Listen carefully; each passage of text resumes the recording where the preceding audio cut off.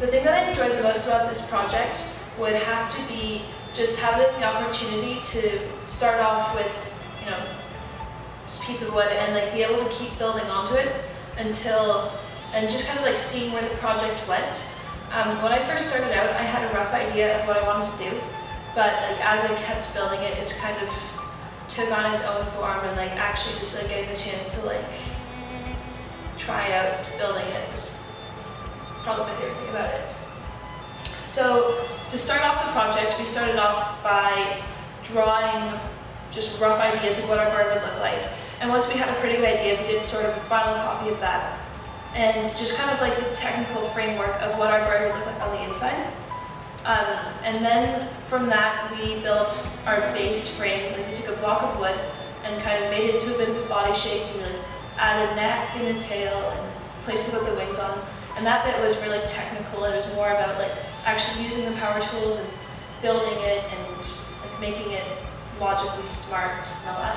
Um, and then after that, we did a stage where we would wrap it in chicken wire and stuff that chicken wire with um, like newspaper and that gave our birds shape, which actually gave us a lot more flexibility with like what we wanted our birds to look like, because it wasn't just the wood. Like you could actually like mold it and decide how exactly each curve would happen. Um, and then after that, we did paper mache over top of the chicken wire.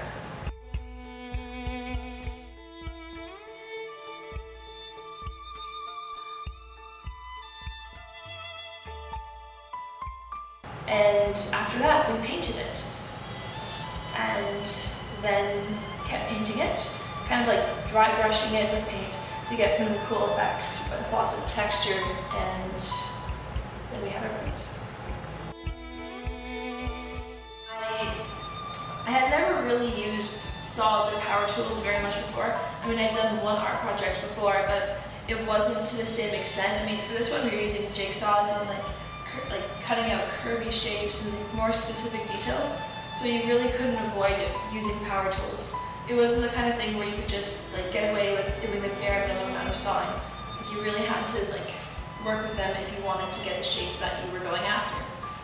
So having Mr. Greg as an art teacher is definitely really, really helpful, especially in a project like this, because we had a lot of freedom, but at the same time, there was a technical aspect to it that we didn't necessarily know exactly what it was that we were doing.